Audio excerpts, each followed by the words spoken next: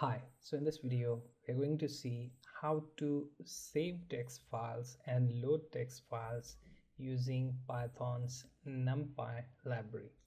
So let's open text editor. Here I'm going to import NumPy as NP.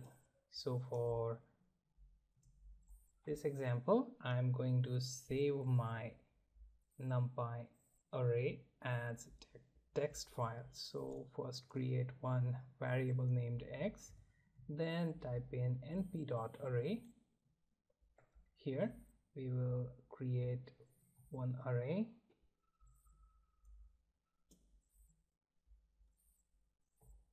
And let's make one more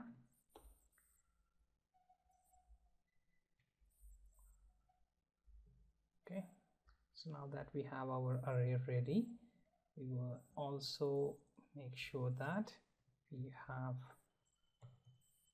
integer 32 as our array elements.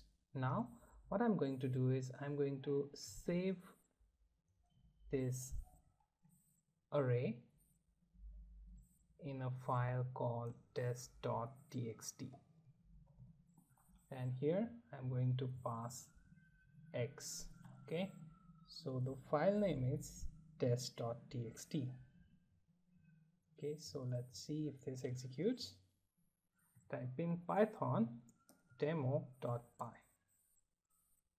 okay? So it returns with blank prompt that means our file is generated.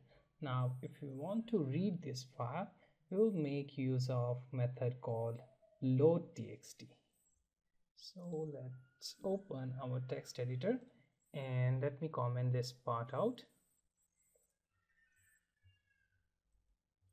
And next thing we are going to do is we are going to create new variable named y and type in np dot load txt. And inside this i'm going to simply open this file. And then we are going to print y.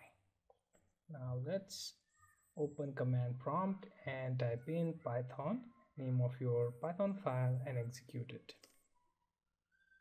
Okay so you can see our array is now printed. So with the help of save txt method we can save our array or any our any of our data frame values into a text file.